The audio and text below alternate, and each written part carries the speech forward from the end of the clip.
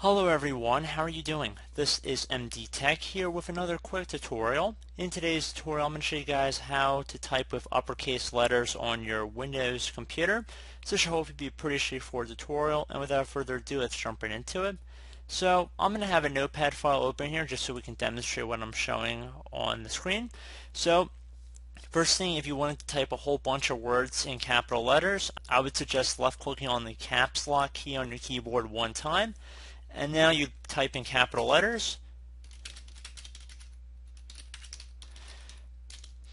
As you can see, if you had a specific letter or you wanted to start a sentence off with a capital letter, you can just achieve this by holding down the shift key while typing that respective letter.